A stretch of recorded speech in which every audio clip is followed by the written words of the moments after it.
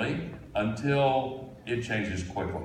And I- think we're right there. I'm, I'm extremely hopeful and optimistic, not least because of the people in this room and the people who have come to this conference. I've learned so much from those who've been on this stage and in the other venues here, and there are life stories in this room for, of people who for decades, and some of them a lot longer than me, who have been working so hard in the trenches to try to bring about these changes. And I'm just very, very grateful to be a part of, of this gathering today. Our work has barely begun, but we are going to win.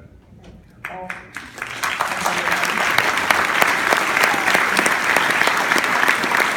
I I know that you actually, we have to have, get you out, because you've got our run out to a plane, and we, so we are out of time, but I just want to say, you know, on behalf of everybody, you know, thank you so much for thirty-eight years of, you know, being the most passionate person saying this has got to be front and center, and that it's a moral imperative you know, among the many if onlys that we could talk about. Um, um, you know, if, if only we had actually listened 38 years ago and to think about how much further we would be. But it is, um, it is great to see, you know, 195 countries actually Yeah. saying we have a binding commitment to do this. Yeah. Um, to have your, you know, inspiration as an investor, as a public policy leader, and as a civic engaged person to say, we got to get all on this. So, you know, I really want to, um, have everyone thank you for the inspiration and really looking forward to seeing what this group collectively is going to be able to, to do to speed up our timetable and uh, increase our scale. So join me, please, in thanking. Thank you. Thank you very much.